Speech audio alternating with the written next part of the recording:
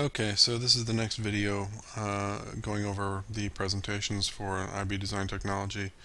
Remember the um, instructions as far as the colors of the text and the slides are background uh, dark like this. Uh, it's based off of the 2009 standards, background light. It's based on the new 2016 standards, and students who are going to be taking the IB test next year or any years thereafter are going to want to pay uh, especially close attention to that, but everyone should really pay attention to all of this. First thing we're going to talk about today is defining uh, invention and innovation. Invention is basically uh, creating something new for the first time. It's never been used before, it's never been created. Uh, this is actually coming up with the process or product right from the beginning. Innovation is either improving, uh, improving on an existing product or making a significant contribution uh, towards a product or service, or it can be the commercialization of an invention. Um, that link uh, is a two-minute video uh, from an entrepreneur, Tom Grasty, basically explaining invention and innovation and giving examples uh, from an entrepreneurship uh, standpoint. So make sure you go and watch that video, linked right in the presentation. Um, now, with the new standards uh, for IB, they're talking specifically about um, so there's there's a lot of crossover that they're bringing over into the new standards. Um, invention uh, is something specific that they want you to be aware of. Uh, invention by it can be by lone inventors or in collaborative and creative teams. Um, that's usually uh, considered the forefront of design. Um, designers need to be both uh, creative, innovative, but also understand uh, concepts that will make a new product viable. Um, that's kind of going more into the um, innovation uh, area, but it is still important for invention as well. And also designers need to be need to use imagination, but they also need to be firmly grounded uh, in knowledge of the product and understanding how it's how it works. So they need to be both creative uh, thinkers and scientific thinkers. Uh, looking at international mindedness, you need to understand the role of intellectual property, IP, and patents uh, in either stifling or promoting inventions globally. Um, there's a it's it's a huge um, topic that needs to be addressed in the coming generations on the role of intellectual property and, and IP and patent laws and all these things because there's a lot of arguments for and a lot of arguments against. Um, so it, it's it's particularly a buzzword uh, in the um, in the community. So that's going to be uh, something that you really want to understand for this. And then linking this to theory of knowledge, uh, what's the role of imagination and invention? And are there limits to what can be uh, imagined? And what are the unforeseen consequences of some of these inventions? So you need to consider the thought process that goes behind everything and also making sure that inventions are grounded in ethical reasons. Innovation um, is uh, particularly when uh, inventions are successful in the marketplace because they're uh, solving long-standing problems or improving on existing uh, solutions or finding what's known as a product gap, which is uh, an area that has yet to be filled by a product.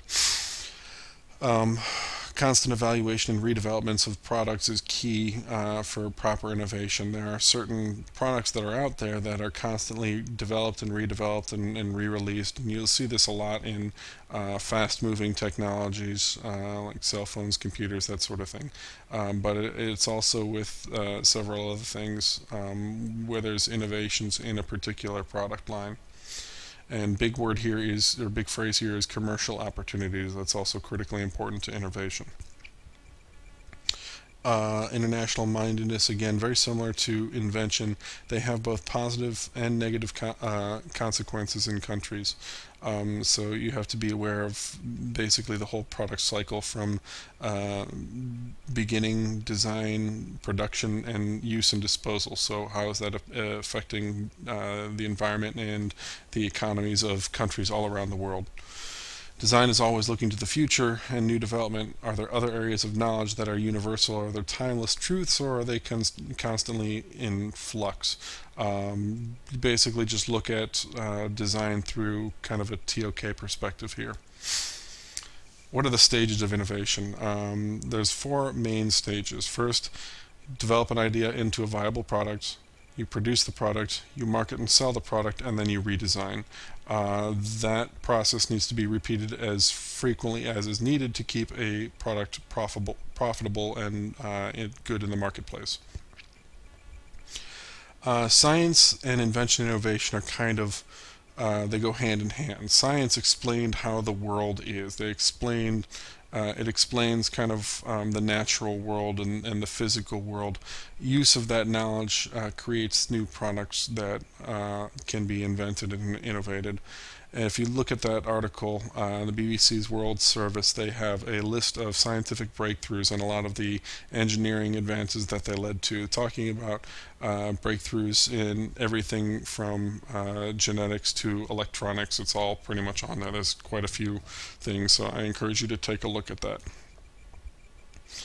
Um, technology uh, is different than science. Technology under, uh, uncovers new possibilities uh, for materials and manufacturing techniques and processes. That's not to be confused with science. Science is more of a natural world.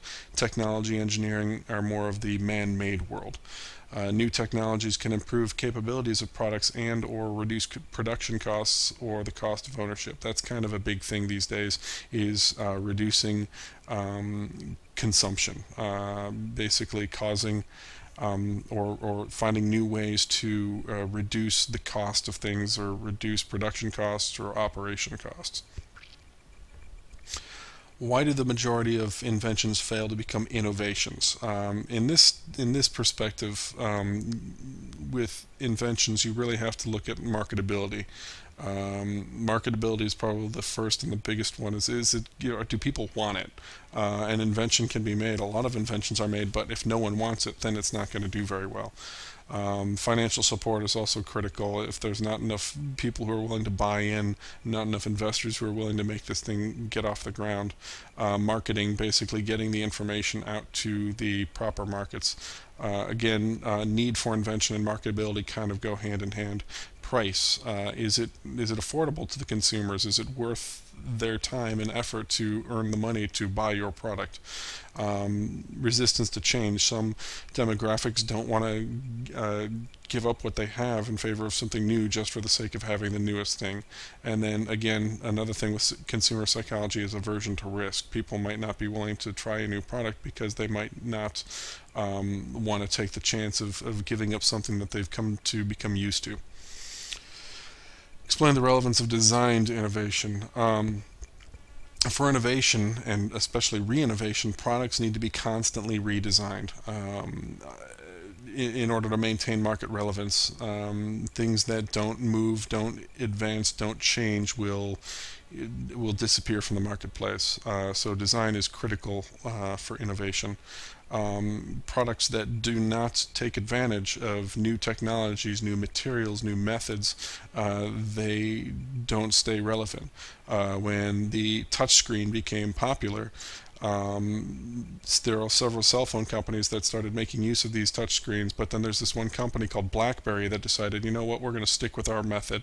They didn't adapt, and now where are they? Uh, define the following. Dominant design. This is a critical thing to understand. Dominant design is a design of a product that becomes so pervasive, so recognized uh, that um, manufacturers and consumers will sometimes uh, say that something is necessary um, for a particular product line. Uh, we'll get into that in a few minutes. Um, diffusion into the marketplace is basically how accepted a product becomes. Market pull uh, basically says that the market or the demographic wants something, so they are looking for something, they're demanding a product, versus technology push, where that is a little bit different. It's a, where there's a new technology that's developed, so um, uh, producers and manufacturers will make something using the new technology, and they give that to the market, and then that may uh, inspire a market pull, but sometimes it doesn't necessarily have to. So there's two, basically two reasons that a new product will become developed. Either the market demands it or technology uh, kind of forces it upon the market.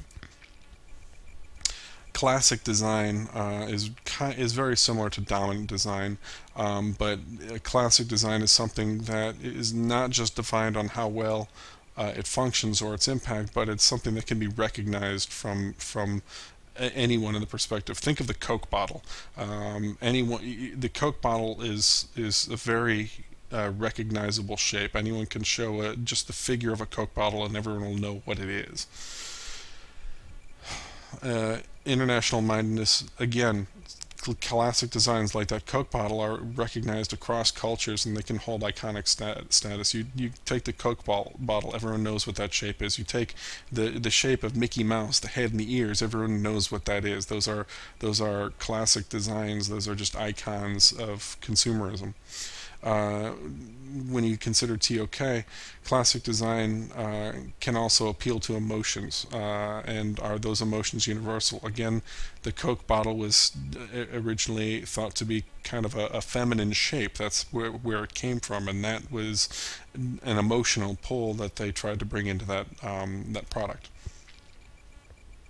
Describe a design context where dominant design is relevant. Um, these are the examples they give uh, ballpoint pen, the iPod, Coke, like I said, clamshell style laptop, and disposable cups. Um, I drew that in paint in 10 seconds, and that is pretty obviously, at least to me, an iPod. Um, every when for a while when those things first came out, everyone was copying off of that exact shape, even if those that wheel didn't work the same way. So many knockoff MP3 players came out that looked exactly like that um, because that was such a dominant design. Um, if you think of laptops, you probably all have them sitting on your desks right now. Uh, they all function the same way. A laptop is has a screen that folds up. Well, now there are tablets, so that's changing. But for many, many, many, many, many years, laptops all meant you had a keyboard that laid flat and then a screen that folded up. Where did that design come from? Why why was it not maybe a fixed screen and a fixed uh, keyboard. Well, that clamshell design became such a dominant design that everyone copied off of it. Again, disposable cups too, same thing. They're all shaped the same way. They all pretty much work the same way. It's become such a dominant design that it's universally recognized. And then jumping back to the term classic design, um, this is where you have form that follows function as a fundamental principle, but it's not necessarily evident in practice. Uh, the laptop, the, the clamshell laptop is a great example of the form following the function because when it's closed, you're actually blocking off all the keys, you're protecting the keys, you're protecting the screen, but when it's open, you can have access to all of those and it, it, it works the way it is. Can you imagine what a laptop would be like if it was just permanently open? It would be very, even if it was really light, it would be extremely difficult and uh, not very portable for most people. Um, a lot of them, some products are so well designed that that um, it's intuitive on how to use them.